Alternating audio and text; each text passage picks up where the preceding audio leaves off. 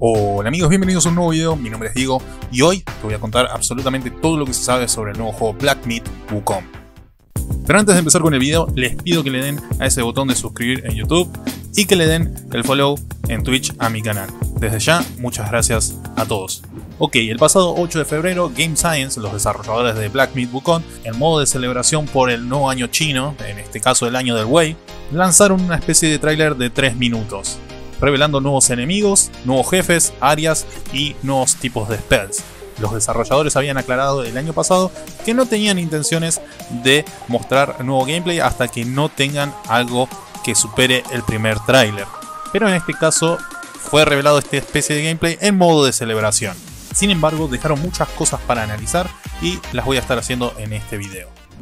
Nuevo gameplay trailer nos mostró cuatro nuevos jefes. Los vamos a estar viendo uno por uno. El primero es una rata maestra, por así decir, no sé cómo decirle, que aparentemente utiliza poderes eléctricos con un báculo. Si se fijan detenidamente, el área donde vamos a pelear con esta rata no es un área común, es una especie de cementerio con tumbas, y esas tumbas van a ser utilizadas por esta rata para conducir la electricidad y poder atacar a Wukong. Lo que pude ver es que también Wukong, el mono, puede hacer una especie de mímica de este y dividirse en tres. Ya habíamos visto en el gameplay anterior del año pasado que Wukong era capaz de crear réplicas de sí mismo, pero a la vez podemos ver que también puede crear réplicas del enemigo al que se está enfrentando.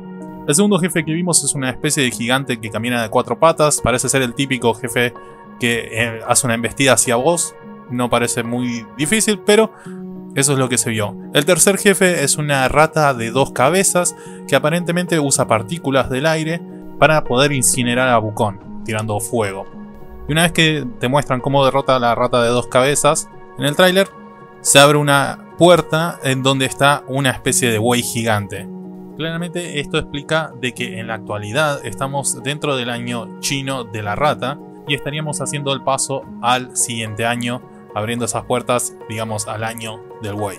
Esa transición es expresada en este tráiler de esta manera. Pero también se pudieron ver cosas dentro de esta nueva área que antes no se había mostrado, que es una especie eh, de templo roto, eh, como olvidado, que es donde deben vivir estas ratas. Y eh, se pueden ver varias zonas. Una es cuando Wukong está intentando llegar al templo y lo interceptan cuatro tipos de ratas bastante ágiles o bastante molestas por lo que se puede ver.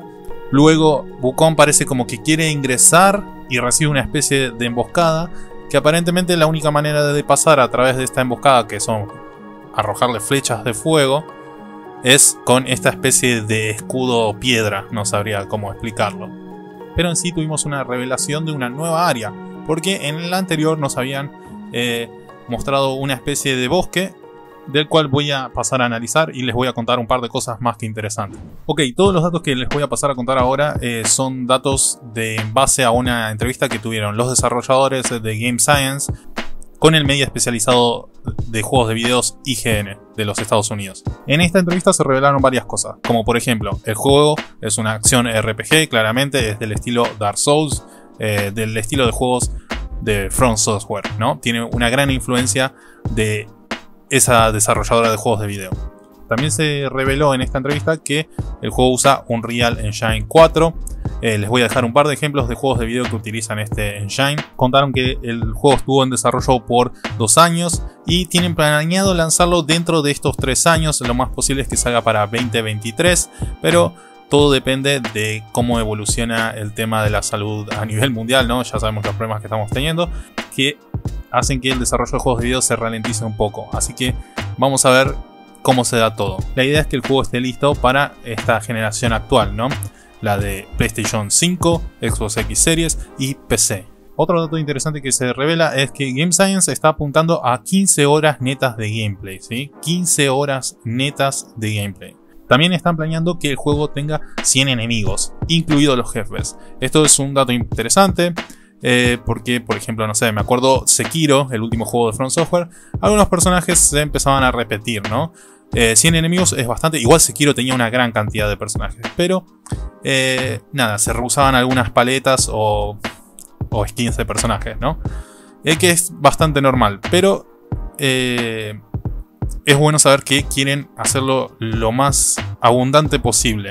Así que si son 100 enemigos, piensen que si el juego se divide en 4 partes, puede que cada zona tenga 25 personajes únicos. Actualmente hay 30 personas trabajando en el título, sumando a sus tres cofundadores, quienes anteriormente trabajaron en Tencent. No sé si alguno de ustedes sabrá sobre este gigante de China, Tencent. Bueno, eh, tres de estas personas trabajaron ahí. El juego apunta a un mercado premium, que es algo inusual en China, es decir, es un juego AAA. Tengan en cuenta que en el mercado chino, generalmente las empresas indies de este estilo suelen apuntar a juegos de celular que tienen más llegada, ¿no? También comentaron que la empresa a su vez está buscando expandirse para trabajar en dos equipos simultáneos de desarrollos de niveles. Y esto no creo que sea un inconveniente porque hay un dato curioso. Después de que el tráiler se hizo viral y tuvo críticas positivas, recibieron 10.000 correos con currículos vitae de gente que quería trabajar en este nuevo juego. Un dato curioso, ¿no? Piensen que en YouTube ya tiene más de 7 millones de visitas el tráiler y en Bilibili, un sitio web que sería como el YouTube de China, ya llegaron a más de 10 millones de visitas. También dijeron que la compañía planea quedarse en silencio durante mucho tiempo para trabajar en el juego y no van a mostrar más nada hasta que los desarrolladores crean que, lo que van a mostrar es mejor que el primer avance. Y también contaron un par de cosas sobre la historia. Black Meat Wukong eh, es una versión de Journey to the West, o también conocido como Viaje al Oeste pero presentada de una manera más compleja y oscura. Para los que no saben, les cuento rápidamente una sinopsis. El Viaje al Oeste es una obra china acerca del monje Xuan Zhang, disculpen la pronunciación, donde el protagonista hace amistad con tres inmortales, ¿sí? Un mono llamado Sun Wukong, el monito que podemos ver en el tráiler, un duendecillo de agua llamado Zhang Yen y un cerdo llamado Su Baihie. Todos juntos viajan a la India para recuperar las sutras sagradas y juntos se enfrentan dificultades a lo largo del camino. Esa sería la sinopsis resumida. Pero tengan en cuenta que eh, ellos van a hacer un par de toques en la historia. Black Myth Wukong va a ser el primero de tres juegos planeados por la desarrolladora china. Cada uno de estos Black Myth contará leyendas diferentes. La idea de esta empresa es crear un universo no muy diferente al estilo Marvel, pero con leyendas chinas. También hablaron sobre el área o mapa, como ustedes quieren decirle, jugable del primer tráiler. Dicen que se llama Blackwing Mountain y tardaron 6 meses en realizarlo. Va a ser uno de los primeros eh, niveles y se estima que en dificultad media podemos pasar entre 30 y 60 minutos de gameplay ahí. También acotaron que se crearon 5 versiones de Blackwing Mountain, pero esta es la que quedó. Y para finalizar quería hablar de las mecánicas del juego y analizarlas en detalle. Abajo a la izquierda hay unas tres barras, estas tres barras nos indican diferentes cosas. La primera es el HP, ¿sí? es tu vida. La segunda, la barra azul, es la energía que se consume cuando usamos las skills que están ahí arriba a la izquierda. Y la barra amarilla, la tercera, vendría a ser tu energía al moverte, ¿sí? al esquivar un golpe, al atacar o asaltar.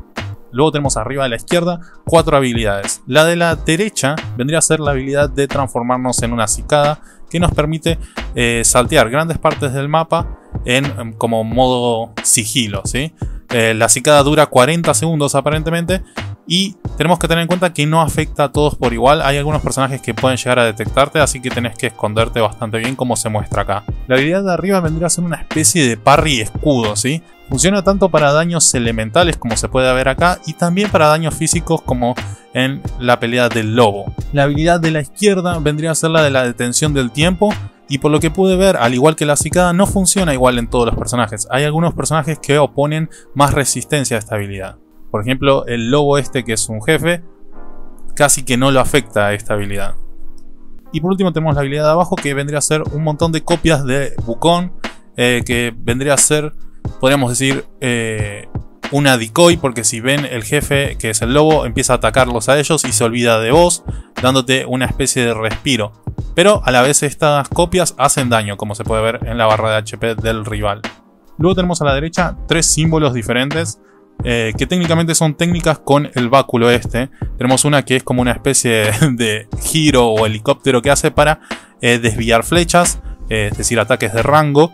Luego tenemos una que vendría a ser como un ataque punzante y más específico. Y luego tenemos el default que es para eh, estirar el báculo y pegar desde arriba y también golpes normales, ¿no? Por último, quería aclarar que Wukong aparentemente se va a transformar en diferentes personajes que va a ir derrotando a medida que avanza en el juego.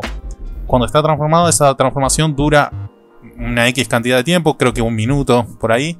Cuando estás en este modo de transformación, aparentemente resistís más, tu HP se regenera todo de nuevo, eh, tu estamina lo mismo. Así que tengan eso en cuenta. Quizás habría que eh, aguantar estas transformaciones al máximo, intentar hacer todo el daño posible con Wukong y luego eh, poder usarlas. Y bueno amigos, ese es todo el análisis que tengo de momento de Black Myth Wukong. La verdad ya ahora como pensamiento personal eh, está bastante bueno, se ve bien el juego, pero aprendimos bastantes cosas el año pasado con Cyberpunk, ¿no? No caer en el hype. Así que hay que ver, hay que esperar. de momento pinta bien el juego. Y me gusta también que eh, la gente de From Software también tenga un poco de competencia en este ámbito de este estilo de juegos al estilo Dark Souls. Recuerden, From Software está trabajando actualmente en el próximo juego Elden Ring, que planea ser un juego gigante. Eh, de momento no se sabe mucho sobre el juego, pero bueno, me gusta que haya competencia para esta empresa, así nos vemos beneficiados nosotros en conseguir cada vez mejores títulos. En fin, eso es todo, nos vemos en el próximo video. Adiós.